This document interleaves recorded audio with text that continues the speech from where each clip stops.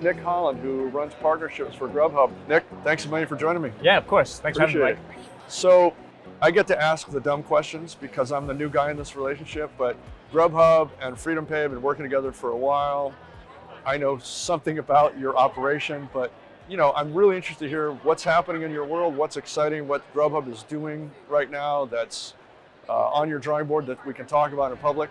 Mhm. And Yeah. uh, yeah, what's happening? Of course. Yeah, I mean, I think it's it's just sort of interesting, sort of the how the relationship between FreedomPay and Grubhub is kind of sort of very slowly evolving. But you know, You'll have to that elaborate on that. What is that?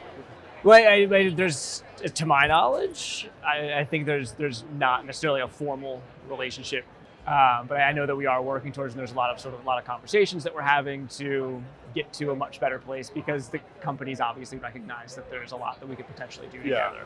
I think especially within our closed ecosystem and in that campus space, you know, the that sort of the conversation that I was having with you, where you know I came from a startup that was acquired by Grubhub, this closed ecosystem technology. Uh, sort of what we're doing that's really exciting in that space is, you know, we've seen a lot of success- over the past decade leveraging this closed ecosystem environment, Grubhub campus, at you know about 300 college campuses around the country. Wow, no small thing. Yeah, no small thing. It's it's obviously it's a 10 years of development that have, that have Sure. gone into this. An acquisition by Grubhub, acquisition by Just Eat Takeaway, our European parent company. Uh, but now, you know, obviously with a lot more resources, we're really expanding. You know, where else has a need for this type of you know hyper local, high density, high volume type of operation that needs the convenience of mobile ordering. So we've really expanded that model to sports and entertainment. You know, we launched at uh, Washington Commanders at FedEx Field last NFL season. Uh, this MLS season, we launched with uh, Inter Miami down in Fort Lauderdale. Uh, and then we're also bringing it to the world of hotels and resorts. Last summer, we did a big project with Resorts World in Las Vegas.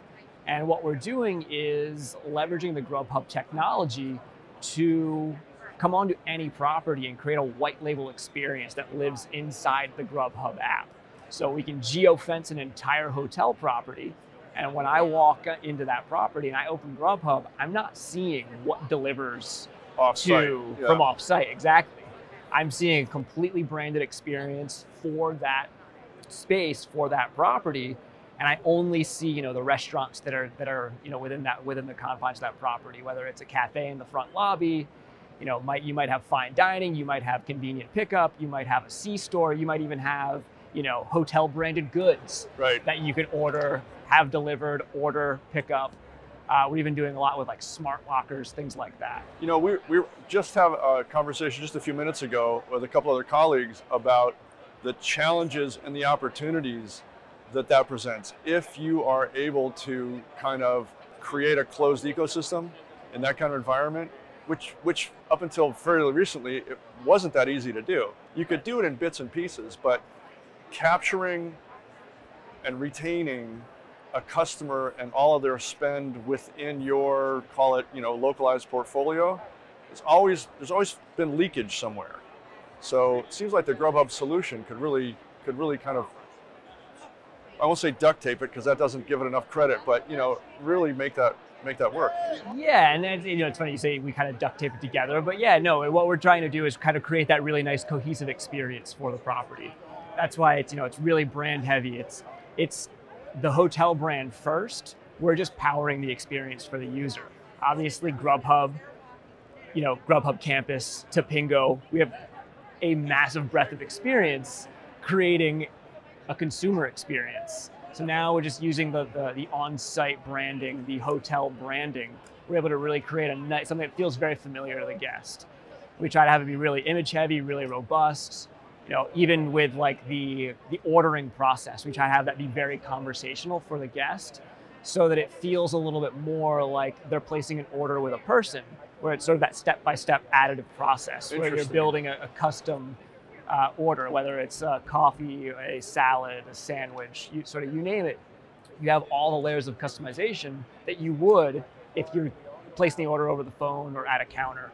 But now you're able to do it from the convenience of your room, or you know when you're on the good example is at a conference when I'm on the shuttle on my way back to my hotel, I could be placing my, my dinner order and it's ready and waiting for me instead Right. of having to walk in, wait for it, pay for it. So this, so you're talking about something that goes beyond just the, the call it the, the payment ordering rails. You're talking about the, about solutions that go all the way into hardware and UX and creating a, a, a whole experience Absolutely. rather than just some another way to order your food. Yeah. Yeah, that's a big deal. And you know, I think even to to that point, Mike, uh, when you're talking about you know the hardware and the user experience, because you know even though we're a mobile first POS effectively, where we're able to create a lot of efficiencies for the properties because of mobile. You know, you don't need somebody to answer the phone. You Right. don't need somebody to take the payment. So to take that a step further, we even developed our own kiosk technology. And I think that might be something you might be somewhat familiar with Yep. And within our on-site environments is these, you know, walk-up self-serve kiosks where it's effectively a touch screen. You know, you swipe in, you place your order, and payment is rendered right there at, at the sort of that, that point of sale, and it goes right to the operation. Sort of the nice thing there is that captures the rest of the consumers that maybe don't have the app downloaded yet. Maybe they don't know about the app, or maybe they're technology resistant, or maybe they just don't have a smartphone, Right. or they forgot it in their room. Or it's just too much of a pain. You know, there's a million of those reasons. there's so many reasons that Yeah. you might not have access to a mobile app, but now this captures that and it doesn't require the uh, operation to necessitate having somebody right there to accept payment, accept order. You're sort of creating this again, this really nice cohesive experience where, regardless of where you are or sort of what service you're trying to uh, get a hold of at the and that event feeds right into whatever the property management or whatever their you know uh, you know source of truth is for customer data. Exactly right. Yeah. And I think that's that's one of the biggest things for us is the ability to integrate with with a PMS system. Is you know because no consumer wants to be told, oh, we have this great mobile ordering app, But you can But only you- use it over there. but you Yeah. can't do room charges. Yeah. Or you know on a college campus, you can't use your student tender or your meal plan dollars. Right. You've just you've just blown away the entire experience. exactly. Yeah. Yeah. Well, this is huge. I can't wait to have more of these conversations seriously because I think we're just talking about the tip of the iceberg between what our respective companies do separately, but what we're what we're doing together. So uh, I think this conversation is going to go lots of places. So Nick, thanks a million. Yeah, Really great talking to you today, and I completely agree with you. I think there's there's tons of opportunity for us to again. It's all about that the evolution of where these two companies could potentially go together. Well, then you and I are going to drink more coffee and make deals. Yeah, for sure. Thanks again.